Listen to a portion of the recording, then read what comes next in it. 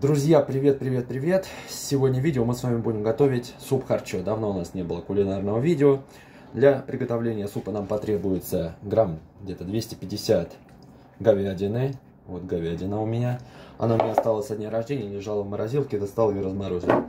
Две луковицы, можно покрупнее. Томатная паста,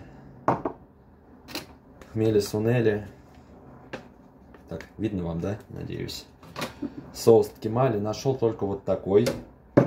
И рис. Где-то грамм, я не знаю, наверное, отсвечивает, да, будет. Ну, я думаю, рис увидели вы. Вот он, в общем. Рис нам надо сейчас будет залить водой холодной.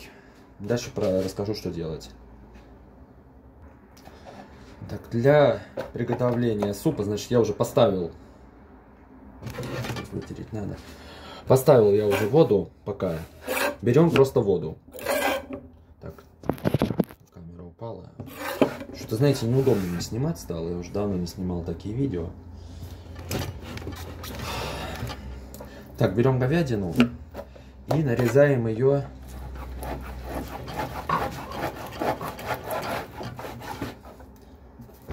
камера кубиками.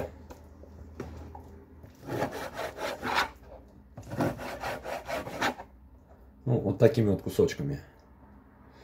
Так, наверное, солнце он будет отсвечивать, наверное. Не, а так темно будет, да? Ладно, пусть будет лучше так.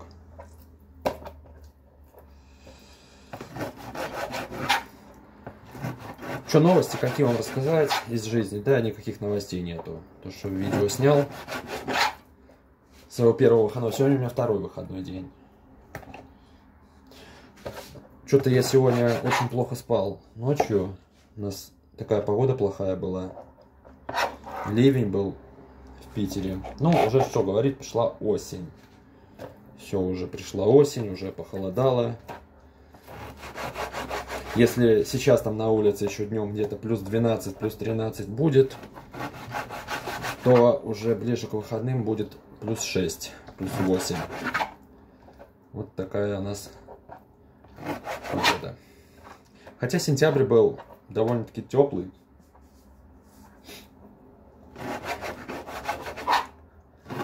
Кстати, если вдруг кто-то не знает, харчо это грузинский национальный суп.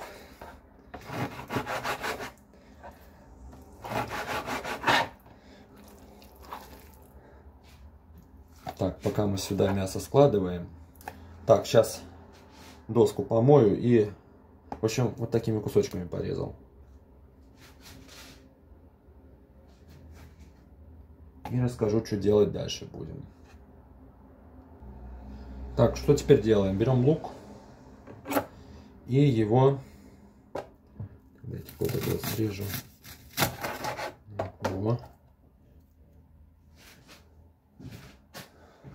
Мелко режем лук теперь.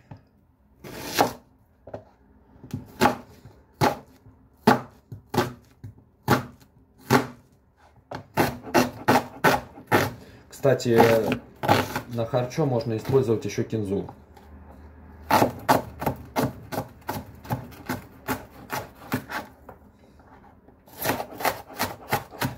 Но кинзу я, к сожалению, не взял. Не стал покупать. Что-то у меня стол трястись начал. У меня же камеру неудобно ставить. Держите. О, вот так вот, надеюсь, будет получше. Но вам не видно будет, что я делаю конкретно.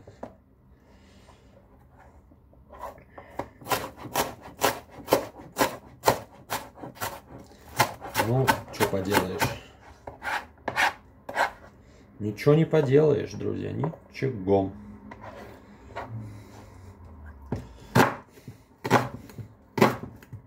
У меня, кстати, все в планах было еще раз ездить в Тосно и посетить Тоснинский краеведческий музей. Тем более мне люди писали, что Ой, к нам лучше приезжать летом.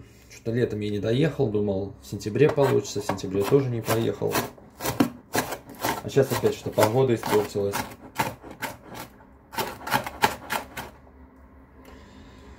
Поэтому такие дела.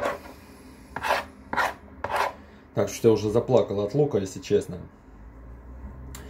Так, давайте сейчас я лук тогда измельчу и дальше покажу вам, что делать. Так, все, я порезал лук, честно, он настолько был просто ядреный, у меня аж все глаза прослезило. Вот бывает лук нормальный, а бывает реально, даже не то, что там глаза прослезит, аж э, в горле начнет горчить. Такой лук тоже бывает, у меня было такое. Так, лук мы порезали, теперь сейчас мы его будем обжаривать вместе с томатной пастой. Обжаривать я буду на растительном масле, но желательно использовать, конечно, по-правильному маргарин. Но если использовать маргарин, когда суп будет э, готов, ну, непосредственно у вас будет стоять, э, может покрыться такой пленочкой, вот, что не очень, так сказать, приятно может быть. Поэтому лучше вот использовать обычное подсолнечное масло. Я уже поставил обжаривать лук, сейчас он чуть-чуть подколируется и добавим сюда томатную пасту. Добавил я томатную пасту и продолжаем вот так вот дальше помешивать и еще пассируем.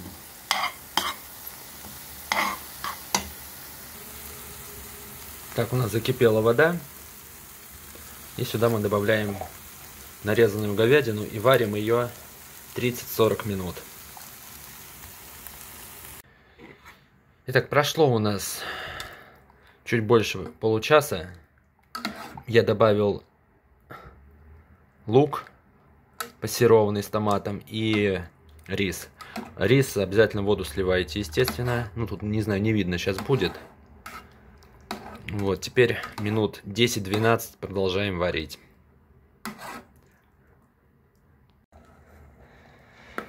Так, у нас рис поварился где-то там минут 10-12 вместе с луком.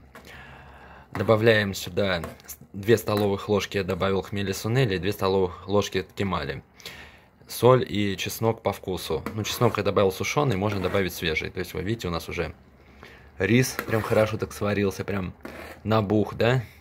Не, не получилось просто заснять, как я это добавлял, потому что надо было одной рукой ложку держать, другой рукой держать банку из-под соуса, еще и снимать было неудобно. Ну, вот так вот. И сейчас можно еще добавить сюда, естественно, даже нужно добавить этот самый кинзу мелко нарубленную. Ну, я ее не купил, поэтому я ее не добавляю. И еще где-то минут 5 поварить все это. Так, ну что, сейчас будем пробовать наш супчик, какой у нас получился.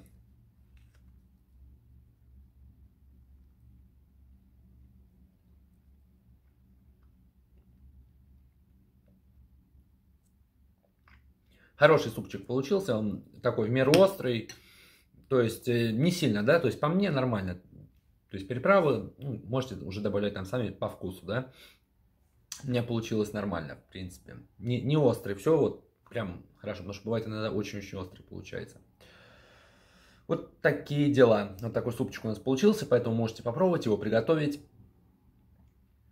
Вот. Поэтому всем спасибо, друзья, кто посмотрел это видео.